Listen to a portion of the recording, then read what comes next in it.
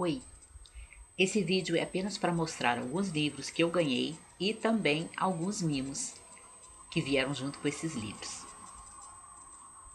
Bom, em primeiro lugar, um presentinho que eu recebi não foi nem por correspondência, né? Da minha colega de trabalho, da Vera, e eu falei para ela que eu ia mostrar no vídeo, porque nós fizemos um trabalho, ela fez, né, como agente de leitura, um trabalho na biblioteca na parte da manhã, eu só ajudei em alguma coisa, seleção de livros e tudo, que tiveram como, como fundo a, a Inglaterra, né?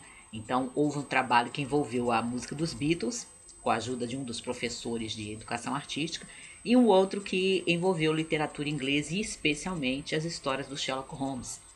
E aí ela conseguiu esse cartazinho aqui, botou lá no mural alusivo ao Sherlock Holmes e depois ela me deu. E ela disse que ia me dar porque ela sabia o quanto eu gosto. E para quem não conhece, é, essa ilustração aqui é o Jeremy Brett que fez uma série durante a década de 80 e acho que no começo da de 90 também, que eu cheguei a ver alguns episódios na internet, que eu gostei bastante, em que ele encarnou o Sherlock Holmes. Foi um dos melhores atores que eu vi interpretando o Sherlock Holmes. E eu adorei, né? Fiquei super feliz quando ela disse que ela me dá e quando a gente terminou o projeto ela me passou. Gostei muito. Tem agora que encontrar um lugar para colocar ele. Talvez eu mande emoldurar, vou fazer alguma coisa. Também, esse aqui já tem até resenha no canal. Recebi como cortesia da editora Pedra Azul o romance Belinda, um clássico da literatura inglesa. Vou deixar o link embaixo da resenha de Belinda, porque ele já foi lido, já foi resenhado. E hoje, sábado, eu recebi um mimo de uma amiga minha.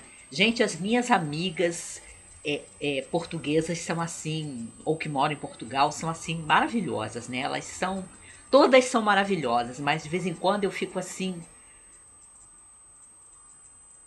sei lá, é tão tão surpresa e ao mesmo tempo tão comovida, né, com o cuidado que elas têm. As minhas amigas portuguesas são são demais. Eu não vou dizer o nome dessa porque ela não gosta, mas eu faço questão de mostrar as coisinhas que ela mandou.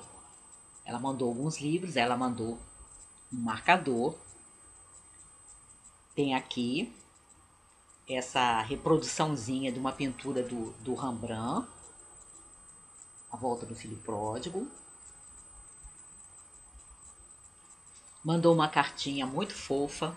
Se der tempo eu vou comentar por que que eu acho que tá tão fofa mandou esse é, que pelo jeito os portugueses chamam de planeador semanal, né? Em que você faz o plano da semana. E aí você tem aqui dentro, né? O espaço para você planejar, planejar as prioridades e anotando tudo que você vai fazer semana a semana, cada folha para uma semana. E o interessante é que você tem, né, como agrado especial para quem gosta de literatura, tem sempre uma frase de um escritor ou português ou brasileiro ou da África portuguesa.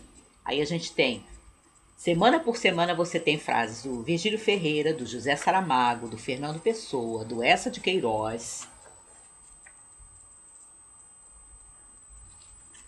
Uma gracinha, uma gracinha, amei. E os livros que ela mandou. Um que eu já havia mostrado no vídeo Livros que eu gostaria de ver publicados no Brasil, vou deixar o link embaixo, que eu mostrei as capas de vários. Aí tem esse aqui, e ela me mandou, porque ela descobriu que tinha essa tradução portuguesa, né? Antiga já. Três Amores de Diana, do George Meredith, que eu já falei um pouquinho sobre ele no vídeo de A Literatura Vitoriana.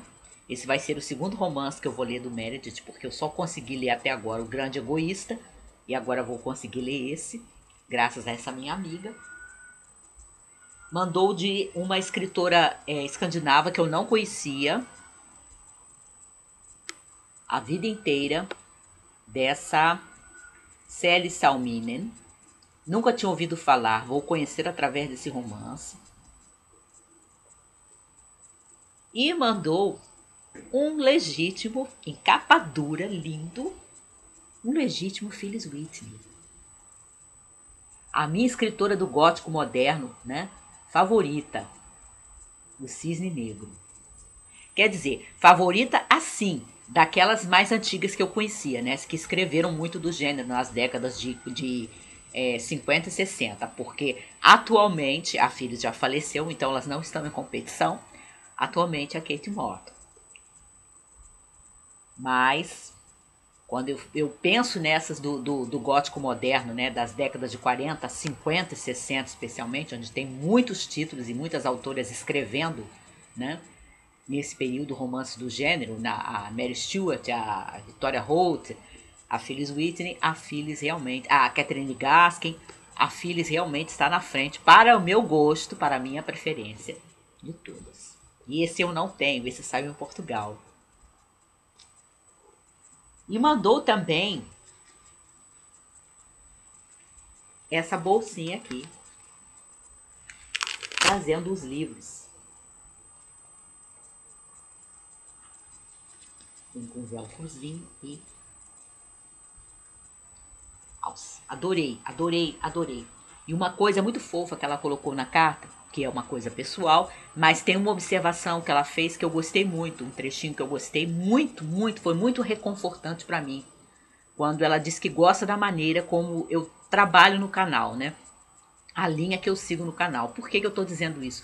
Porque de vez em quando, e isso aconteceu essa semana também, eu recebo é, alguns comentários, alguns recados de pessoas que você percebe que elas têm um modo como elas veem né, é, os canais literários ou é, o canal literário que resolve abordar a obra do fulano, do cicrano, e que ela acha que você tem que ter aquela linha. E aí isso tem muito a ver com o gosto pessoal e com a maneira como você encara a obra, né, e a ideologia de determinados autores. Isso é uma coisa pessoal e tem muito a ver com aquilo que eu gosto, né? Não vou ficar aqui, já disse isso para quem ainda não sabe, vou tornar a dizer, quem está chegando agora ainda não sabe. Não vou fazer vídeos resenha de livros que eu não gosto, vou continuar fazendo vídeo resenha apenas de livros que eu realmente gosto, né? E de acordo com aquilo que eu conheço e que eu sei, né? Eu não vou simplesmente repetir o que algumas pessoas dizem do autor X ou Y, mas a minha visão de leitura daquele autor e daquela obra. E eu quero agradecer muito essa minha amiga, e eu estou orando por você, sempre, tá?